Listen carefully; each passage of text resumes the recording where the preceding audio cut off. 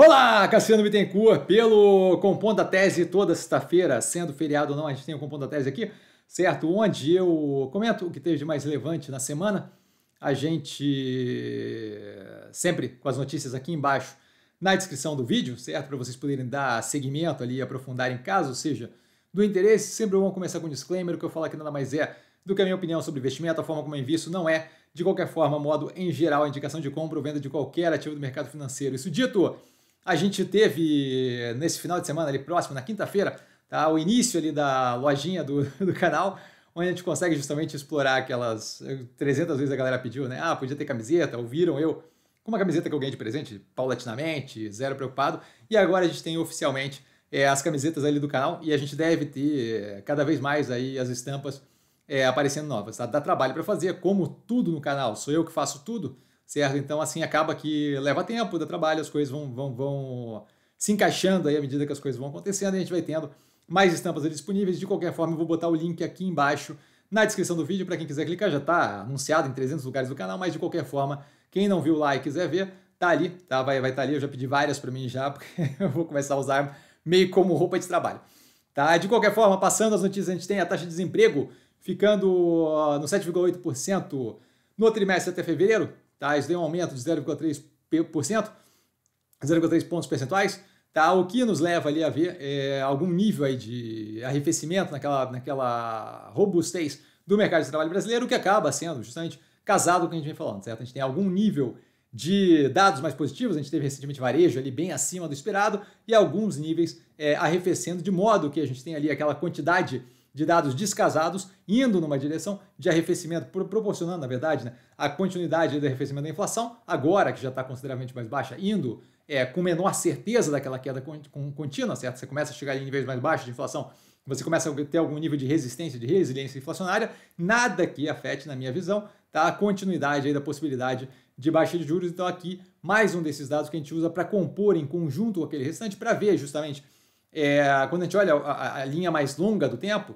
certo? A gente vê, a gente não fica naquele negócio de, ah, foi positivo, vamos, vai, foi negativo, blá, blá, blá, ah, não sei o quê. Então a gente vê mais uma, uma continuidade daquilo que a gente vem falando há bastante tempo, certo? Alguns dados ali com melhor posição que poderia causar pressão inflacionária, outros com menor, como é o caso aqui do desemprego subindo, certo? Que poderia causar, que causa justamente é, menor é, pressão inflacionária e a gente vê justamente uma continuidade de um arrefecimento não linear. Tá nada que chame atenção. A gente teve também os dados agora no sábado já tem short reel no canal, inclusive, do PC, do Personal Consumption Expenditures, nos Estados Unidos, tá? Basicamente ali o próprio Jerome Powell, o presidente do Fed, veio falar que está em linha com o objetivo do Fed, certo? Antes tem ali a inflação lá, novamente, desse mesmo processo, certo? Você teve uma redução mais agressiva da inflação durante um bom tempo, agora você tem algum nível de resiliência nela, algum nível de resistência ali para continuar a queda. A queda não continua tão agressiva, tá? mas continua indo num, num cenário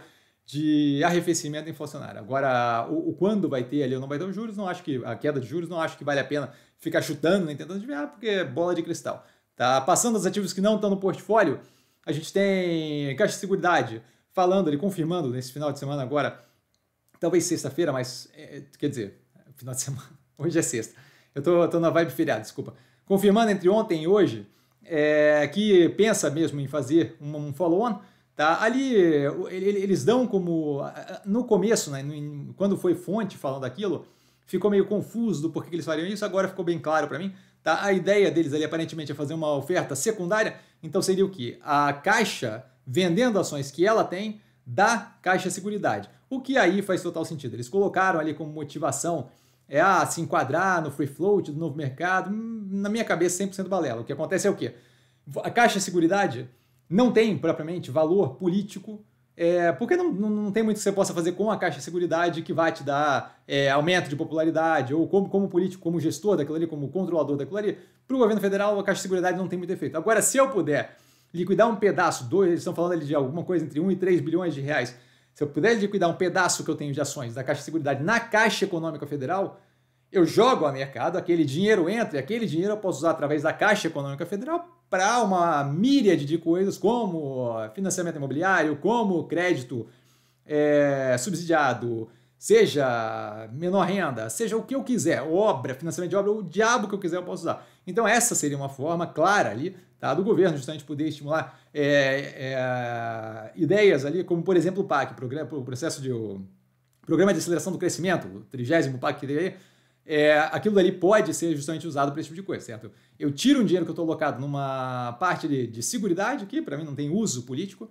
e eu consigo, jogando a mercado, pegar o capital que, que vem para a Caixa Econômica Federal e aí usar aquilo dali para todo tipo de política pública, que aí se vai ser bem feito ou mal feito, é outros 500, mas para todo tipo de política pública que ajuda na minha plataforma de, de governo ali, tá? E aí se a plataforma é positiva ou negativa, aí também outros 500. Mas isso daí agora faz total sentido, justamente naquela linha do governo usar as estatais como braço público. E aí eu volto a reforçar, isso aqui é mais um nível, lá atrás quando falavam do Banco do Brasil, que estava nos 28, 30 reais, que falavam do Banco do Brasil, ah, não sei o quê, que tá, o governo vai meter a mão, ele, ele, não precisa meter a mão no Banco do Brasil, certo? Aqui a gente tem a chance do governo rapidamente levantar 2, 3, 1, 1, 1 a 3 bilhões, sem ter que meter a mão em nada que vai chamar uma grande atenção. Isso aqui é basicamente a Caixa Econômica se desfazendo de mais um pedaço e aparentemente tem uma desculpa ali boa ali, de aumentar o free float no, no mercado. Então, assim, volto a reforçar. É, isso aqui é mais um indicativo, certo? Da ingerência ali do governo em ativos estatais para uso é, político, e aí o positivo, negativo, discutível, mas para uso político. Tá? Então, é, acho que vale a pena é, atentar para esse tipo de coisa, não só aqui, mas Petrobras e por aí vai. Tá? Passando para a próxima aqui, a JBS propondo volta dos irmãos Wesley e Wesley Batista envolvidos numa cacetada de processo. Tá? Na época que começou o rolo todo era carne fraca, Aí o envolvimento lá com a, com a questão do, do Wesley Day, lá, aliás, o Wesley Day é Wesley Day por causa do Wesley Batista, a fita lá com o Temer, é, mala de dinheiro e por aí vai. Então, assim, não, não, não toco no ativo com uma vara de 10 metros. Por quê? Porque esse tipo de coisa, como a gente viu em outras operações, quando tem esse nível de envolvimento é, de prática menos positiva, vamos chamar, vai, é, na, na, na, parte do topo da operação, aquilo ele tende a se espalhar Tá? E não é o tipo de operação que eu, que eu, que eu acho que é positiva no portfólio. Tá? Então, isso aqui é mais um indicativo. O fundador da Vivara, que ia entrar como CEO recuando, isso daí lá no domingo passado, tá? Então, bem domingo ou segunda-feira, domingo para segunda-feira, bem, bem no finalzinho ali da, do final de semana, tá? E aí, justamente, é, recuando ali, dado, imagino eu que dado pelo, é, pelo fato do mercado ter recebido muito mal a entrada dele, com planos de internacionalização, aí por aí vai, ele vai ser agora presidente do conselho de administração e não o CEO. O CEO foi colocado uma outra pessoa. Tá? A Boa Safra Sementes, que não faz mais parte do portfólio, né? contratando bancos para uma potencial oferta, tá? eles estão falando aí em algo base, ele valor base de pelo menos 200 milhões de reais, tá? o que deve justamente ajudar a financiar a continuidade da expansão da operação. É, não vejo como propriamente negativo, tá? acho que eles têm feito um, uma expansão bem positiva. Imaginei que daqui para frente fosse um pouco mais orgânico, isso aqui pode ajudar a acelerar aquele processo ali, especialmente no que eles falam de expansão para novas culturas. Tá? Não vejo como problemático, vamos ver o que eles fazem. Eles têm feito investimentos desde o IPO, até por isso a gente estava comprando ativo, desde o IPO eles têm feito investimentos muito casados ali, com uma estratégia de um jeito que tem dado resultado muito positivo.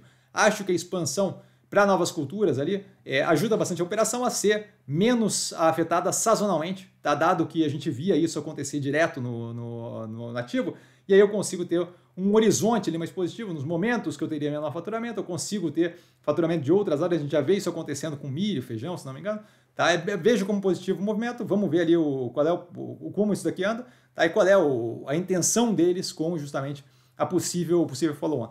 Por último, aqui dos outros ativos, a gente tem a Ultrapar adquirindo ali na surdina, né? Comprou 4,99% da Hidrovidas Brasil, que não precisa divulgar, mais 4,99% é, travado ali com derivativos, não preciso divulgar para a CVM, e aí de repente fez uma operação com o fundo do, do Pátria, se não me engano, com o fundo do Pátria, é um dos fundos do Pátria, comprando numa raquetada 16,88%, aí eu tenho 16,88%, somado com aqueles 4,99%, dá uns 21 e alguma coisa, e tenho ali de derivativos possivelmente vindo mais 4,99%, o que me dá uma posição aproximada aí de 26% a realizar, 26, 27%.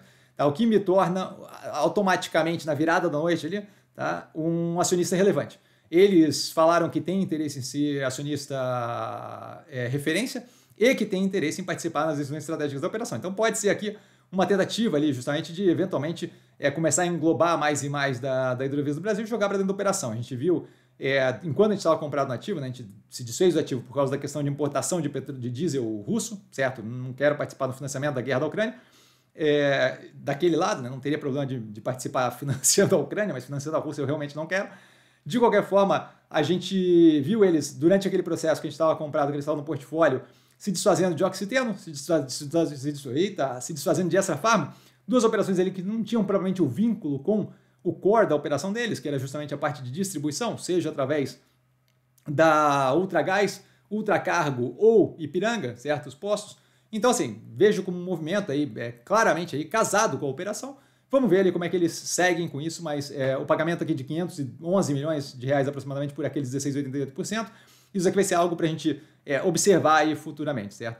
A questão ali de... Fizeram uma pergunta numa live que foi bem interessante, é, se o fato de agora eles terem ali participação da Ultrapar tira a Hidrovias do Brasil da minha mira, dado que a Ultrapar está justamente importando é, petróleo é, diesel, diesel russo. Certo? E isso daí é uma, é uma informação interessante, porque apesar de eles não serem controladores, os controladores da Hidrovias do Brasil, é, seria previdente não tocar na Hidrovias do Brasil nesse momento, dado que, se por algum acaso, é que, é que assim, o movimento todo, se eles vierem a efetivamente assumir o controle ali, eu acho que é muito possível que eles simplesmente tentassem tomar a operação como um todo e acabar rolando um opa, esse processo todo de possível, se for o caso, né, de possível oferta pela operação como um todo, tira o interesse, eu não quero participar desse tipo de coisa com gatilho, sabe? De, de, de, entrar no investimento com a expectativa de, ah, muito possivelmente eles vão englobar tudo e comprar tudo, ou não vão, é, acho, que, acho, que, acho que é pouco contraproducente, certo? Então a gente dá um passo atrás na Hidrovias do Brasil, que é uma operação que como operação interessa, mas por causa desse embrólio todo, da possibilidade de ter ou um fechamento de, de, de, ou um fechamento de capital, ou o controle dele sem fechamento de capital, que daí sim coloca a gente naquele conundrum, naquele, na, naquele, naquele, naquela sinuca de bico, certo? De, pô, agora a controladora da operação operação que eu tenho problemas diretos ali com relação à forma que eles levam o negócio com importação de combustível russo. Então, simplesmente dou um passo atrás, não está faltando ativo descontado no mercado, não precisamos entrar nisso aqui. Por último, aqui com relação ao portfólio, a gente tem, fora resultados, mil ainda, a gente tem, que vão ser analisados agora no final de semana, a gente tem a Infracommerce deixando, trocando de presidente, basicamente no movimento que eu vejo que parece ser profissionalização, sai o fundador, certo, da operação, que controla a operação por um bom tempo e entra justamente um novo CEO aí, muito empurrado pelos novos acionistas, a operação ali roda com controle estilo corporation, então acho que é mais do que natural, não acho que é um movimento que chama atenção negativa de forma alguma, certo? A gente vê, é, historicamente, assim, eventualmente as operações tem raros exemplos, o Facebook lá com, com Zuckerberg é um dos, dos, poucos exemplos que tem, mas em geral, quando chega a atingir algum nível grande a operação, você tem a profissionalização da gestão da operação e sai justamente a galera que, por mais que genial, criou o negócio, fundou do zero, agora o nível de demanda para o que se espera de um CEO agora é uma coisa diferente aí. Muitas vezes alguém de mercado ajuda a levar para isso. Tá? A gente vai para os podcasts, fechando aqui, tá? o assunto com a Natuza Neri, falando sobre a prisão é, dos suspeitos de matarem a Marielle, tá? Para quem quiser entender o caso aqui, bem explicado.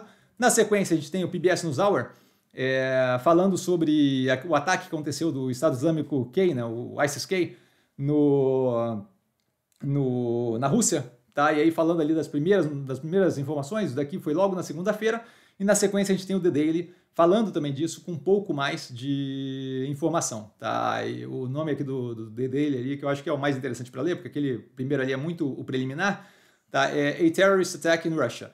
Tá bem, bem, bem, bem, bem, bem conversado, bem diluído, assim, é, é para quem consegue entender inglês é bem, bem tranquilo de acompanhar. É, a gente tem também a, o lançamento agora da, de um podcast da CBN, tá? Com Globoplay, é, a ditadura recontada, acho que é muito interessante, falando, contando a história como um todo do golpe de 64, o, andamento todo e por aí vai. É, é, é, na, minha, na minha cabeça é sempre importante conhecer a história, não só para evitar repetir, mas, mas para saber especificamente de onde vem o, o, o que a gente vive e, e, o porquê que os processos são assim, porque é, a, a, Constituição é composta daquele jeito e por aí vai. Isso daqui é um podcast que parece ser super bem construído, com várias falas e fitas ali que foram que são inéditas, que ninguém nunca ouviu. Tá? E contando justamente aquela história, a gente conhecer isso fica muito mais fácil de poder debater, conversar, entender e justamente é, formular o, o, como deveria ser o futuro do país. Tá? Já tem o primeiro episódio, uma hora e vinte, aberto. Eu coloquei aqui o link para a chamada, aquele pequenininho de dois minutos que, que fala mais ou menos ali um resumão do que, que vai ser o podcast, mas você entrando lá você consegue ver o que já tem e assinar o negócio, tá? É de graça, é podcast, tá? E por último aqui o What's Your Problem, que eu achei bem interessante. What's Your Problem é do da Pushkin e eles eventualmente têm ele, ele, esse programa é sempre assim, uma pessoa que foi para cima de resolver um problema, às vezes por empreendedorismo, às vezes por, por dentro da função de trabalho dele. E aí, justamente falando de como é que é a resolução daquilo, de onde é que a pessoa se vê, com a inovação e por aí vai. E esse daqui é falando sobre reinventar cimento. Tá? Cimento tem uma é um, é um dos maiores fatores aí para poluição, emissão de gás de, de efeito de, de, gás de efeito estufa e por aí vai. Tá? E a gente tem uma necessidade de lidar com aquilo no globo como um todo, permeia completamente, absolutamente tudo que a gente tem no mundo, certo? Cimento. Então, é, The High Stakes é, Quest to Reinvent Cement que é a Lia Ellis falando justamente do projeto que ela tem de reinvenção do cimento, com é, o desenvolvimento já de uma forma nova de fazer, que ela faz, que é bem super interessante. Eu achei, pelo menos, assim, eu, sou, eu sei que eu sou nerd no talo, mas assim, eu achei super interessante isso daqui, eu acho que vale, é um desses aí que vale muito a pena ver. Quando tem os melhores, assim, eu acabo indicando para vocês, não são todos que eu indico, mas quando tem os melhores eu acabo indicando. E por hoje, ficamos por aqui. Um beijo a todo mundo, vale lembrar que eu... Opa, precisando de mim, eu tô sempre no arroba investico sim, tá lá no Instagram. Não trago a pessoa amada, mas sempre tá tirando dúvida. Vale lembrar que quem aprende a pessoa bolsa opera com Merdadali. E vale a pena dar uma olhada na lojinha que tá bem interessante, ela tá bem divertida. Eu, eu como disse, hoje aproveitei assim que tava mais leve aqui e aproveitei para comprar várias, várias coisas. Logo, logo, logo, logo. Eles têm um tempo maior de entrega ali, né? Porque é feito sob demanda mas a gente logo logo aqui deve começar a chegar e aí vocês devem começar a me ver usando nas lives, nos vídeos e por aí vai, justamente casado ali. Agora a gente tem o uniforme do canal. Diga-se de passagem, já teve seguidor já falando que vai mandar vídeo quando chegar lá, dançando forró com a camiseta do Zero Preocupado. Eu tô simplesmente extasiado com isso, não vejo a hora de assistir. Tá? Valeu, galera. Beijão!